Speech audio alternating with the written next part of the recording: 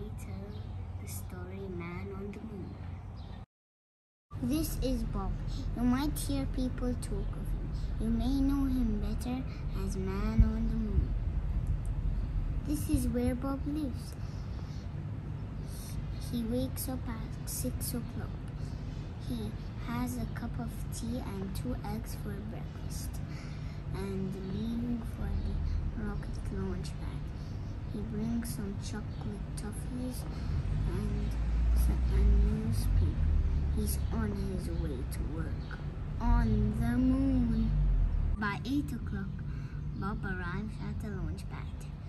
He, he wears into his special man on the moon suit and boards his fantastic rocket ship. He must leave on quarter to nine.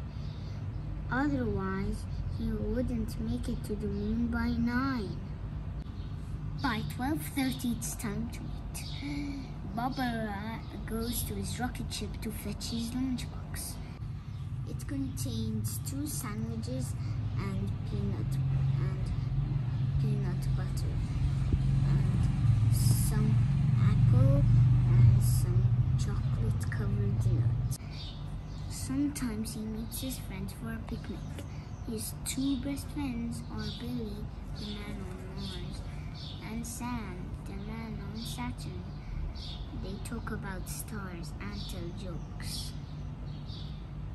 After lunch, tourist spaceships start arriving from Earth. It's Bob's job to entertain them and give them something to photograph. Occasionally, the tourist spaceships land on the moon. When they do, Bob gives them a guide a tour and and they he tells them lots of facts and tell them like how much craters do the moon have and how long it takes to walk all around the moon with stilts.